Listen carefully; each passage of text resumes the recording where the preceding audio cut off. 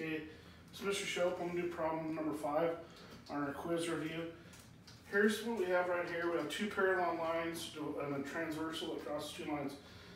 The thing that the problem tells me is I have these two angles here in blue, 45 degrees and 5x plus 35. I want to find a way to set those equal to each other so that I can solve for x, because that's, that's the goal here. For me to be able to set those equal to each other, I have to find some kind of relationship where the lines are congruent, okay? So here's one. Here's where I'm going to start here. I'm going to start with my 45, and we see some crisscross action right here. Or here's a way that we can just get to the punch right here. Okay, I have a straight line right here. I have a straight line right here, right? This parallel line. We can use the principle called linear pair. Linear means line. Any two angles on a, uh, on a straight line is 180 degrees. Straight line is 180 degrees. And every time we see a straight line, there'll be a line, uh, a line cutting it into two angles. It's called linear pair.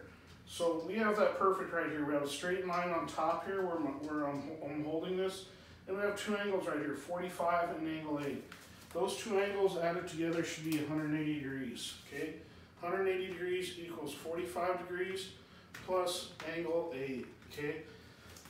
Or I can just say, another way of saying it is 180 degrees equals 45, and I'll call angle 8 just x right now so I can solve for that variable right now.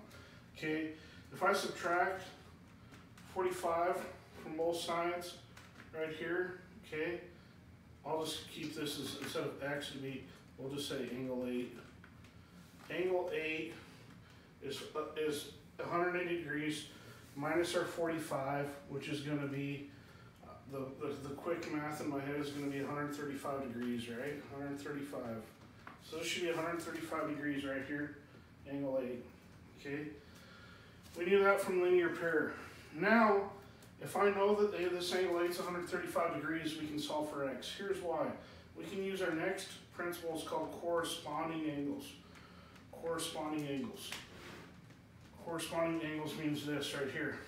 If I have an intersection right here, one is to is one is to five, is two is to six. Why? One is top left, five is top left here. Up here, two is on the top and the right. Up here, six is the top and the right.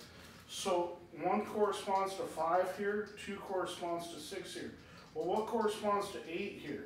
What corresponds to 135 degrees? 5x plus 35 because this is on the bottom, if, if I put a dot right here and make this an intersection, this is on the bottom right of our intersection. I'll put a dot right here. If there were four cars parked at this four-way stop, 5x plus 35 is on the bottom right of this four-way stop. 35 to 135 degrees on the bottom of this four-way stop. Corresponding angles are congruent, which means I can set them equal to each other, which means I can solve for x, which is what I wanted to do this whole time. Okay, once I know that they're corresponding angles, I set them equal to each other, knowing that they're congruent. Congruent means equal to each other, so that's where I'm getting this equal sign from. And now we can solve for x. Plus, the inverse of plus 35 is minus 35. This is going to be pretty easy because 135 minus 35 is 100. Okay, we talked about this in almost every video. When it's when two things are side by side, that means multiply. In math, it's saying take 5 times x. The opposite of 5 times x is divide by x, and x is going to equal 20. 100 divided by 5 is 20. Thank you.